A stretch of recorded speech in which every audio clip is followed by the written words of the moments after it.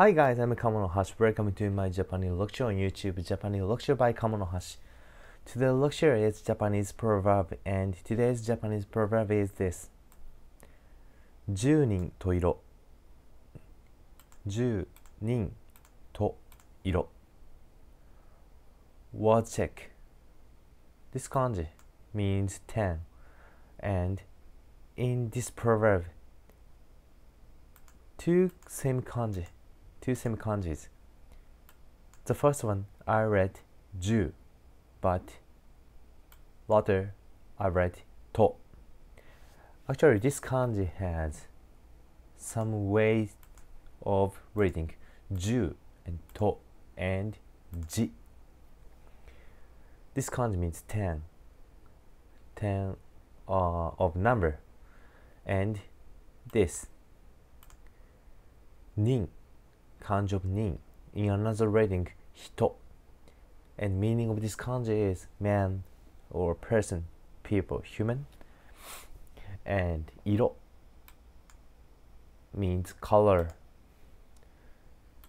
Junin toiro means 10 men have 10 colors.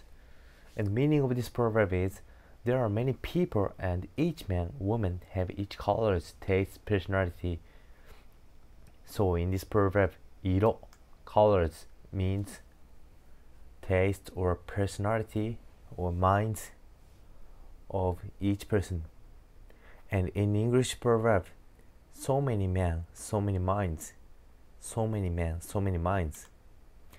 And I think we can use this proverb, junin toiro, for our language learning or studying ability for me english and for you japanese.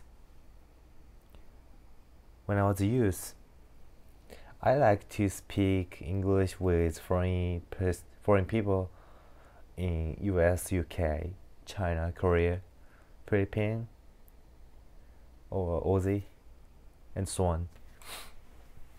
And actually i was bothering about my english pronunciation or english grammar english speaking because my english was very uh, suck but one of my friends no some of my friends told me that your english is just for your english your originality english so your English, you can, only you can speak your English.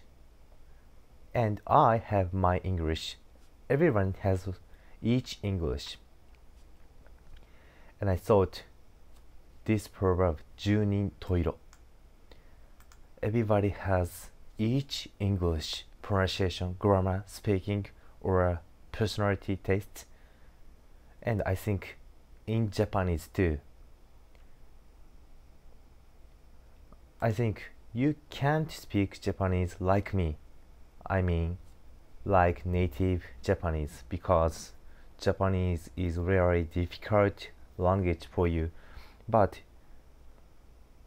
uh, no matter, no matter whether you can speak Japanese well or not, I think 10人と色 your Japanese pronunciations or grammars, speakings, color, taste, personality is really nice. There are so many men and so many minds, so many Japanese, so many English. It's wonderful. Now, how about the lecture? That's all for today. Thanks for watching and see you tomorrow. Thank you for your watching. Let's subscribe Kamonohashi channel. Check another Kamonohashi's stuffs on the web. See you next lecture.